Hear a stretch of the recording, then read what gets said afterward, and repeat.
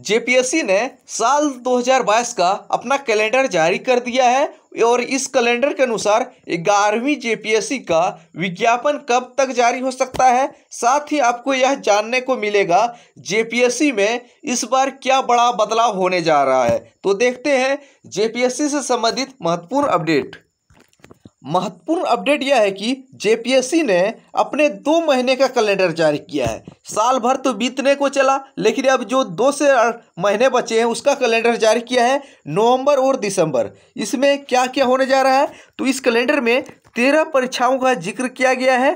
तेरह परीक्षाओं में से सारे जो है, इसका इंटरव्यू का शेड्यूल दिया गया है। इसमें, इस परीक्षा कैलेंडर में कहीं भी ग्यारहवीं जेपीएससी का ज़िक्र नहीं किया गया है, लेकिन जो दिसंबर तक इसकी वैलिड है, उसके बाद जो कैलेंडर जारी होगा, इसमें आगे जो ग्यारहवीं जेपीएससी का विज्ञापन आने वाला है, इसका ज़िक्र होगा। और जेपीएससी में इस बार क्या बड़ा बदलाव होने वाला है, यह जान लीजिए।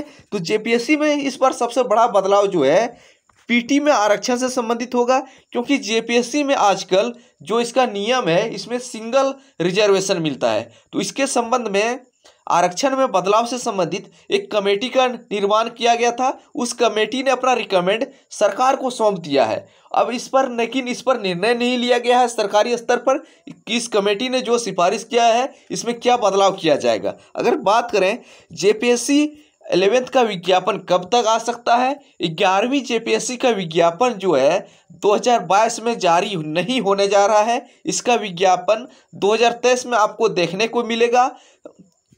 और इस बार जेपीएससी में सरकार का मानसा है तो इसको ग्यारहवीं जेपीएससी ना रख के इसको ग्यारहवीं से बीसवीं जेपीएससी तक संयुक्त जेपीएससी का विज्ञापन जारी किया जाएगा। जिस तरह सातवीं जेपीएससी में सातवीं से लेके दसवीं तक रखा गया, केवल संख्या, नाम बढ़ा दिया गया, नाम में संख्या जोड़ दिया गया सातवीं से दसवीं का आने का। सात, आठ, नौ, दस, इसमें चार साल का, बोल कि चार साल का हम जेपीएससी निकाल रहे हैं और इस बार बोलेगा कि हम दस साल का जेपीएससी निकाल रहे हैं कि ग्यारहवीं से बीसवीं का जेपीएससी का विज्ञापन दो में जारी होगा, क्योंकि लेकिन सीटों की संख्या क्या रहेगी? सीटों की संख्या जो है, इसका आंकड़ा अभी सरकार के पास पर नहीं है कि कितने सीट वैकेंट है।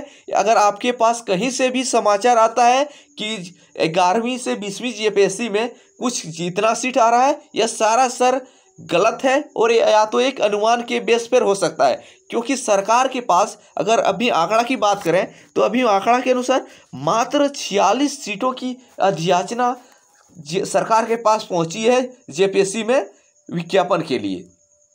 लेकिन सरकारी स्तर पे और विभागों से मांगा जाएगा तो धीरे से धीरे भेजा जाएगा। लेकिन अभी मात्र छियालीस पद का अध्याचना जो सरकार को मिला है कि इतने पोस्ट खाली हैं, किसी डिपार्टमेंट ने भेजा हुआ है।